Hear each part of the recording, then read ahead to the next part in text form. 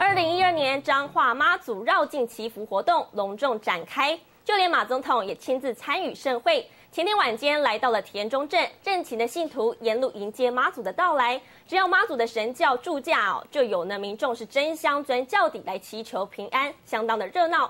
除了有热闹的妈祖绕境活动之外，晚上还会有明华园总团所表演的宣丁山传奇演出，吸引了上万名民众前往欣赏。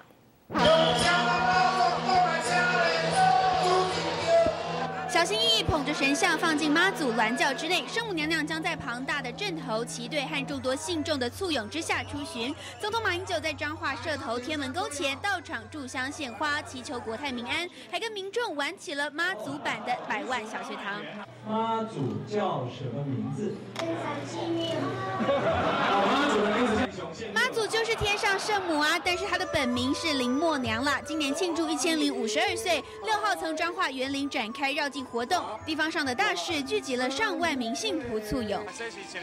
结合宗教、文化、艺术、观光啊农特产品推广的一个很有意义的活动。信徒拿到金牌就象征妈祖的保佑，八天七夜的祈福行程更是在明华园现场演出的时候达到最高潮。十二间宫庙共襄盛举，全都是希望诚心的祈福能够保佑全民平安顺利。记者戴阳茂张化采访报。